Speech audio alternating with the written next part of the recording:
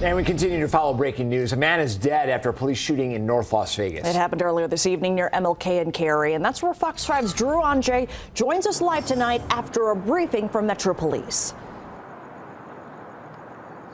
Well, that's right. We just got an update from North Las Vegas Police Department regarding this officer involved shooting, which, as we've told you before, one man was killed. Now, we know this stems back to around just after 5 o'clock is when the first 911 call came in saying that a man had pulled a gun. Then there was another break in time there to another about 15, 20 minutes or so, and another 911 call came in, again, alleging a pretty similar situation of a, a man pulling a gun on someone. So that's when at that point, police had responded, and this was all over in the area that you're seeing right now near the MLK Senior Center. Uh, police say at that point, once they uh, with what they are considering the suspect, they say he pulled a gun from his waistband, and uh, that is when officers shot towards this man. And we did speak with his mother, and he she identified him as 44-year-old Christopher Smith Jr.